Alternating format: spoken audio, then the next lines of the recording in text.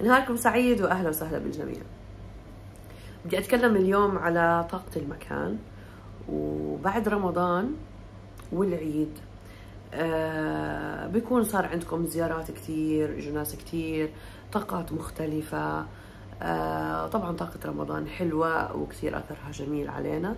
لكن دائما من لما بتتغير المواسم وداخل علينا الصيف و وبنكون فترة عيد وبنخلص العيد مهم إنه إحنا ننظف الطاقة تبعت مكاننا.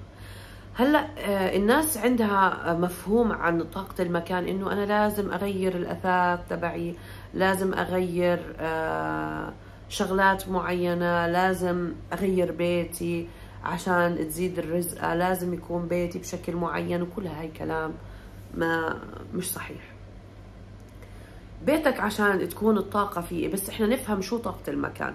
طاقة المكان يعني الطاقة والذبذبات اللي بتتصدر علينا من المكان كمكان ومن الأثاث اللي موجود ومن الأشخاص اللي موجودة في المكان ومن أفكارك ومشاعرك اللي مخزنة إن كنت أنت أو الأشخاص اللي سبقوك في هذا المكان اللي كانوا ساكنين قبلك.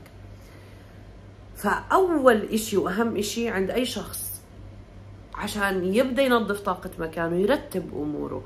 يعني الأدراج اللي مليانة كراكيب هاي تترتب ما عرفت ترتبها في ناس مسؤولة عن هذا الإشي بتعرف إنها ترتب لك إياها. كتير في ناس organ... بيعملوا organization home organization كثير في فيديوهات بتعلم هذا الإشي.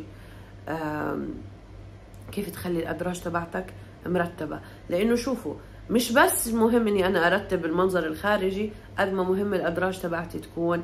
أول شيء مرتبة ثاني شيء فيها مساحات فاضية. إن كان الملابس إن كان الأدراج الموجودة في البيت إن كان تبعت المطبخ إن كان في الصالة إن كان آه اللي هي تبعت ال TV unit إن كان ال side table تبعتك.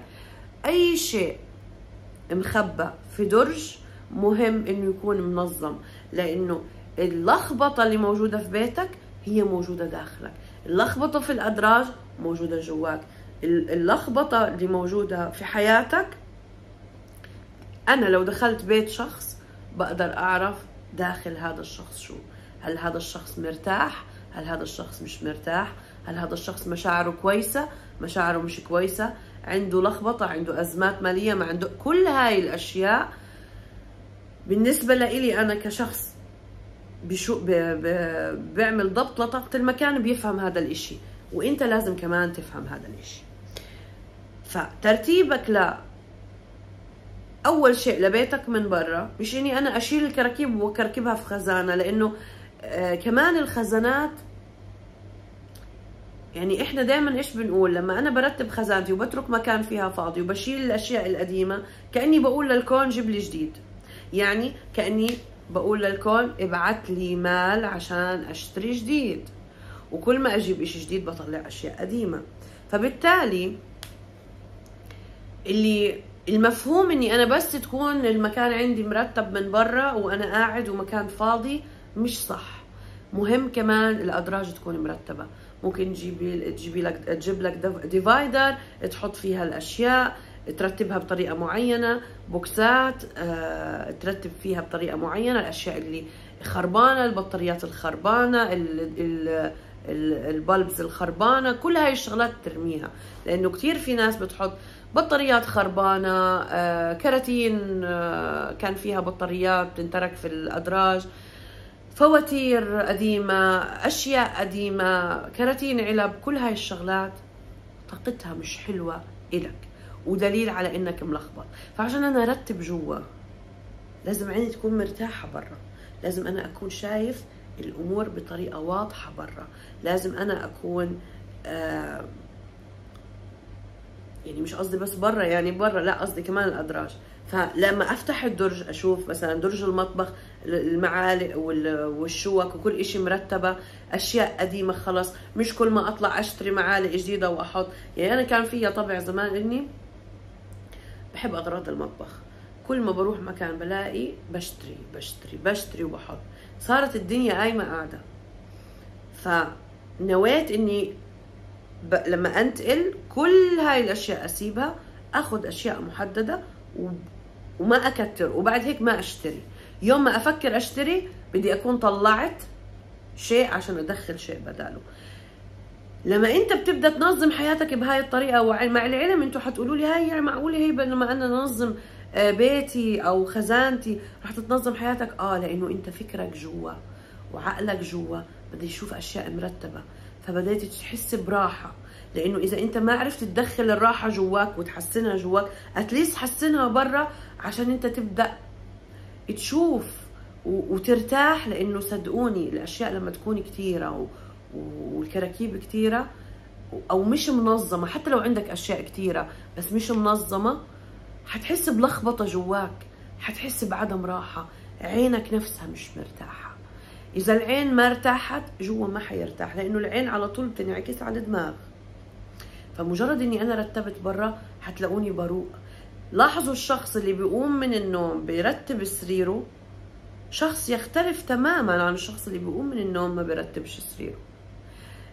الشخص اللي بترك المجلة عنده أو البنت اللي بتترك المجلة عندها مليانة بتصحى الصبح بتلاقي إشي كبس على صدرها خنقها لكن لما أنا أصحى ألاقي كل إشي نظيف نفسيا أنا ححس إني مرتاح فترتيب الأشياء الداخلية أو الأشياء الخارجية في البيت كثير بتنعكس علينا كثير بتترك لها أثر علينا.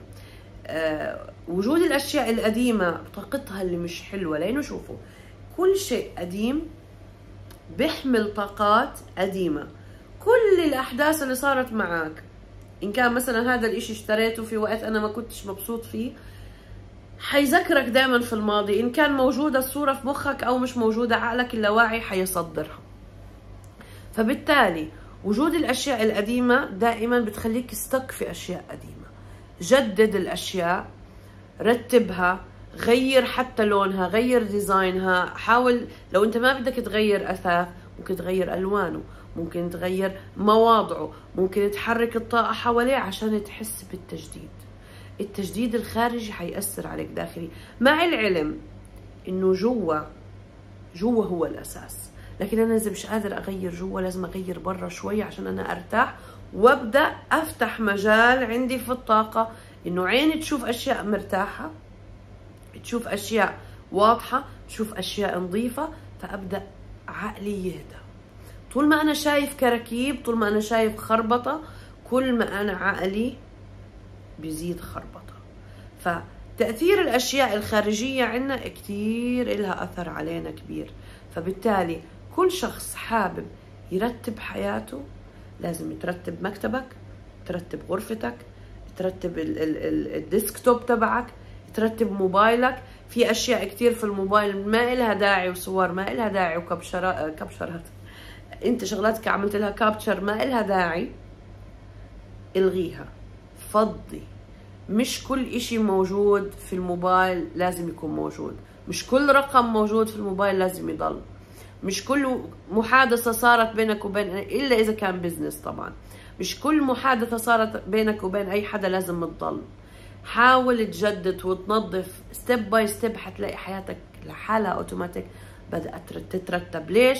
كل ما رتبت طبعا إحنا دائما نقول رتب الداخل يترتب الخارج إذا مش عارف أرتب الداخل at least أرتب إشي physical أرتب الخارج عشان أنا شوي أقدر أترك مساحة للداخل إنه يبدأ يهدى.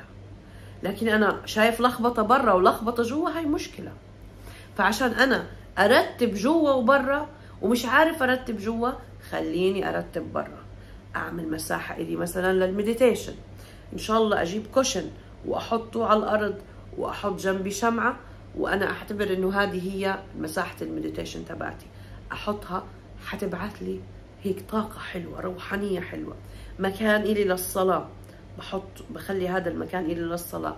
برتبه على هذا الأساس. أه برتب خزانتي بترك مكان إن كان درج إن كان رف إن كان مساحة عند التعليق فاضية عشان أقول للكون ابعث لي المزيد. أه الأدراج اللي في الغرف الثانية بخليها مرتبة منظمة. أكب الأشياء اللي ما إلها داعي. عندي مثلا بطاريات قديمة مش عارفة ليش معلقة على البطاريات بس إنه بطاريات قديمة إضاءات قديمة آه شغلات قديمة إكسسوار أنا ما بدي إياه آه، علب فيكس في مكان كل فاضية كلها برميها. وبخلي الدرج فيه الأساسيات. بنظم وبرتب وبعمل organize بتعلم فيه فيديوهات لناس كتير موجودة. وبجيب لكم إذا بدكم أسماء. تتعلموا منهم طريقة الترتيب. وشغلات كتير حلوة. وفي حتى ناس كورية عندها شغلات كتير حلوة. وفيديوهات لناس يابانية وكوريين بالمساحات الصغيرة بيشتغلوا فيها بطريقة كتير حلوة. للثلاجات للخزانات ل... للحمامات لكل الأماكن. بحيث أصلا طريقة تصويرهم بتشهيكي إنك تسوي جزء منه في بيتك.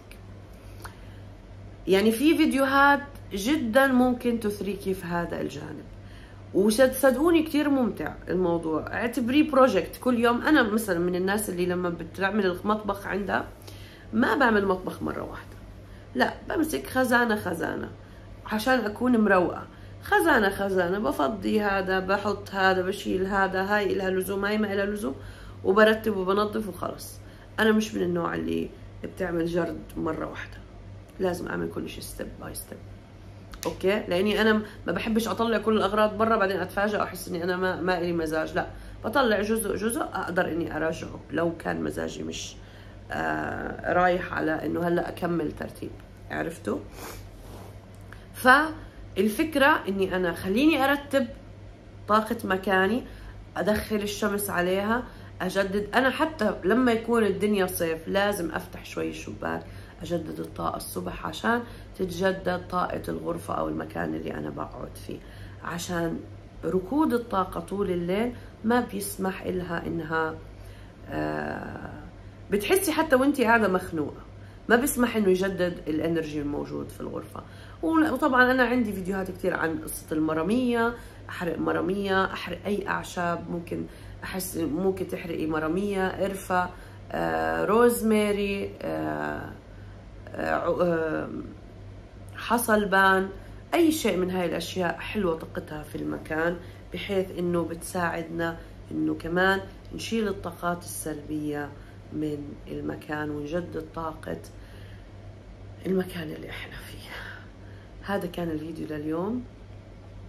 وإن شاء الله يكون ساعدكم أو إن شاء الله يساعدكم إنكم تجددوا طاقتكم وتغيروا شوي من الفايب تبعكم. شكرا لكم. واذا عندكم أي أسئلة بتخص هذا الموضوع أنا بعمل استشارات لطاقة المكان وعندي كورس لطاقة المكان وعندي دورة لطاقة المكان. أي حدا حابب يسأل أو يستفسر ممكن إنكم آه، تشوفوا الموبايل تبعتوا لي فيه على الواتساب أو تدخلوا على link ال website تبعنا وتحجزوا أي شيء من اللي أنا قلته. إن كان استشارة إن كان آه، حتى استشارة ل business online أو business آه، موجود يعني محل أو مكتب. فاستشارة لبيتك لمكتبك أو كورس أو دورة تقدروا تستفيدوا منها فيها معلومات كتير موجودة. مش كل المعلومات طبعا اللي موجودة في الكورسات أو اللي موجودة في الاستشارة بتكون هي المعلومات اللي بيتم سردها في الفيديوهات في معلومات أكتر ومعلومات أعمق وطرق وريتشوالز أنا بعطيها للأشخاص اللي بياخدوا معي استشارة أو الأشخاص اللي بياخدوا الكورسات معايا.